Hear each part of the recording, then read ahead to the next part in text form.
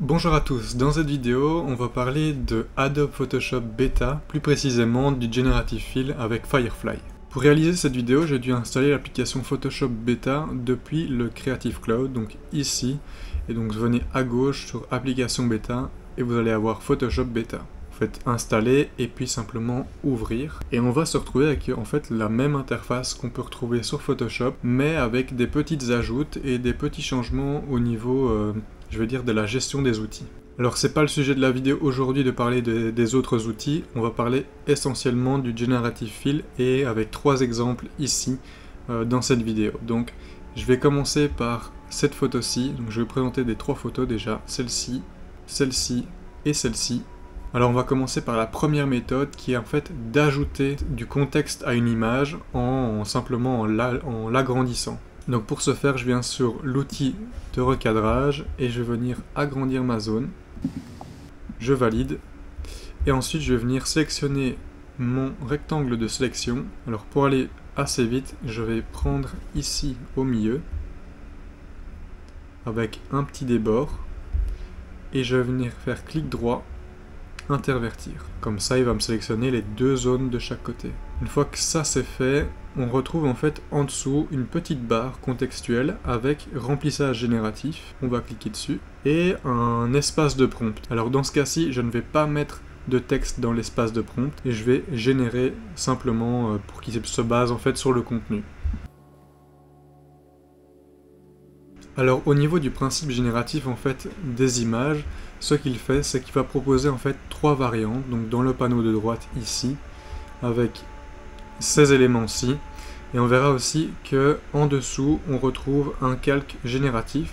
Donc ce calque génératif est un calque, je veux dire, non destructif, puisque on est venu ajouter par-dessus un élément et on va venir en fait travailler avec des masques de fusion. Donc pour le coup, si il faut ajuster ou, simplement un peu repeindre euh, dessus pour faire une, scission un peu plus douce, c'est toujours faisable. Dans nos trois variantes, on a donc tout ceci. Alors moi, ma préférée, c'est celle-ci. Alors je vais garder ça. Et euh, si jamais vous n'êtes pas content du résultat, en fait, il suffit de recliquer sur générer ici. Donc ça, c'était pour la partie 1 où on va remplir en fait un espace vide avec du contenu comme on pouvait le faire avant avec le remplissage d'après contenu, sauf que ici on a trois variantes et euh, quelque chose qui est basé sur le contenu en lui-même et sur des photos euh, d'exemple. Au niveau de la deuxième photo, ce qu'on va faire, c'est qu'on va agrandir la zone et en plus on va venir ajouter des graffitis. Donc je vais venir ici agrandir, je fais OK. De la même manière, je viens sélectionner mon image avec un petit débord. Je clique droit intervertir et remplissage génératif. Générer. Donc voilà déjà un premier résultat. Alors je vais pas euh, aller plus loin sur ce résultat là, mais je pourrais explorer les autres variantes, mais celle-ci me convient déjà très bien. Et je vais venir prendre l'outil lasso et sélectionner en fait ces zones-ci. Voilà ici et ici. Je vais maintenir majuscule pour ajouter une sélection. Voilà, je fais ça grossièrement, mais je viens maintenant cliquer sur remplissage génératif et je vais lui donner un, prompt à, cette génération. Donc ici, il faut bien se, se, mettre en tête que le prompt doit absolument être écrit en anglais. Donc ici, je vais mettre graffiti on the wall. Et je vais générer. Donc voilà déjà ce qui nous génère. Alors ici, on peut voir que comme il y a différents jeux de lumière, on retrouve par exemple du clair sur le fond et du clair sur l'avant aussi, alors que normalement ça devrait se poursuivre de, de gauche à droite. Alors je vais voir les autres variantes, ce qu'il me propose. C'est parfois un, défaut qu'il a de, de faire ça comme ça. Ici, ça, passe déjà mieux. Et alors la dernière, la dernière est, pas mauvaise non plus. D'ailleurs, je vais la garder. Je vais garder celle-ci euh, pour l'exemple. Comme je vous le disais justement avant, on va pouvoir se servir en fait des masques de fusion pour adoucir peut-être euh, l'affichage sur la photo d'origine. Donc, je viens sélectionner le masque de fusion. je vais prendre mon pinceau et je vais venir en fait peindre avec du noir sur le bas. Je remets bien du noir sur le bas ici ma sélection avec un pinceau très très doux. De cette manière, je vais pouvoir en fait fondre ce qui a été généré sur l'image d'origine. Donc voilà, c'est déjà un deuxième exemple qui est assez intéressant. Donc jusqu'ici, je vous ai montré comment ajouter du contexte à une photo. Je vous ai aussi montré comment ajouter des éléments à une photo. Maintenant, on va voir comment on peut en retirer. Donc ici, toujours le même principe. Je vais sélectionner la personne. Voilà.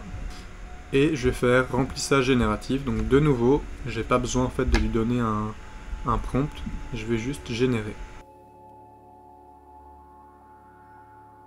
Au niveau de la suppression des éléments, je trouve qu'il fonctionne vraiment très très bien. Parce qu'en fait, on peut déjà remarquer cette fonctionnalité sur la version classique de Photoshop.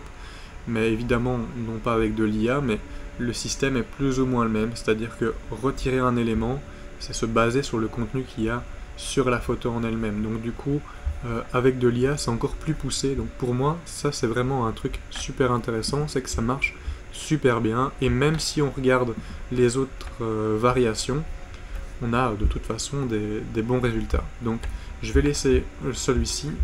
Alors ce que je vais faire maintenant, c'est que je vais lui ajouter un sujet. Donc pour le coup, je vais prendre une zone ici. Et je vais lui demander d'ajouter un petit singe. Donc little monkey. Monkey facing the camera et je vais générer. Donc voilà déjà un premier résultat. On va voir les autres comment ça se passe. Voilà. Alors pour le coup, je préfère nettement le deuxième, qui me semble beaucoup plus euh, chouette. Alors maintenant, le gros défaut qu'on peut retrouver, c'est au niveau de la génération en de l'image. Vous voyez qu'en fait, on, on retrouve quelque chose d'assez lissé par rapport à l'image d'origine. Donc pour le coup, il y a quand même un petit revers de la médaille par rapport à, tout ça, mais évidemment, c'est quelque chose qui sera amélioré euh, au fur et à mesure des versions. Euh, mais il ne faut pas hésiter à la limite à rajouter par-dessus ce calque un calque de, euh, de grain. Comme ça, ça va peut-être un petit peu donner de la netteté à l'image. mais sinon, en soi, si on la regarde de loin, c'est franchement pas dérangeant. Pour le coup, c'est une, bonne, une belle réussite. Alors, j'aimerais quand même juste attirer l'attention sur une chose, c'est que euh, ce qui est créé ici, parfois a des défauts, c'est-à-dire que bah, ici ça, aurait pu me convenir comme ça aurait pu ne, pas me convenir, donc simplement il va falloir régénérer et régénérer un nombre, euh, euh, un bon nombre de fois pour avoir un résultat qui vous convienne aussi. Alors ici j'ai la chance d'avoir eu à chaque fois le résultat que je voulais, mais donc là aussi ce qui est super important c'est le prompt que vous allez donner. Au plus il est précis, au plus vous allez avoir une image qui est euh, forte en fait et qui va marcher pour vos résultats. Si vous mettez simplement, si j'avais mis par exemple monkey, j'aurais peut-être euh, retrouvé une image pas terrible quoi. D'ailleurs si on veut on peut faire le, texte, le test. Hein. Je vais mettre juste monkey.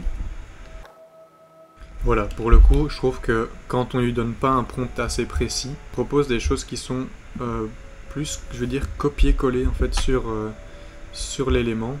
Alors ici, je lui ai quand même donné dans la version précédente une interaction, un comportement, et donc il y a quelque chose qui est déjà un peu plus mis en avant. Donc, euh, de nouveau, ça, ça va être vraiment au niveau de votre prompt que ça va se, jouer. Alors un dernier exemple, je vais créer un nouveau document vide, et je vais simplement m'en servir comme génération d'images. Donc je vais prendre mon petite sélection carré, je vais sélectionner toute la zone, et je vais faire remplissage génératif. Donc en fait ici, je me sers de Firefly comme euh, Midjourney ou Dali. Donc je lui demander de me générer par exemple Moody Night Scene in a City. Voilà, donc là on reçoit en fait une image qui pour le coup marche quand même relativement bien et dont on pourrait par exemple se servir pour par exemple des fonds de post Facebook, ou des choses comme ça. Donc faut pas non plus espérer euh, qu'il y ait du détail à mort dans ces, dans ces photos-là, euh, mais ça peut toujours servir d'alternative à Dali ou Midjourney. Donc voilà, j'espère que la vidéo vous aura plu. N'hésitez pas à me faire un petit retour en commentaire de ce que vous pensez en fait de Photoshop Beta et euh, de Firefly. En attendant, n'hésitez pas à aller voir la vidéo où je crée un logo avec ChatGPT. Et nous, on se retrouve dans une prochaine vidéo. Allez, ciao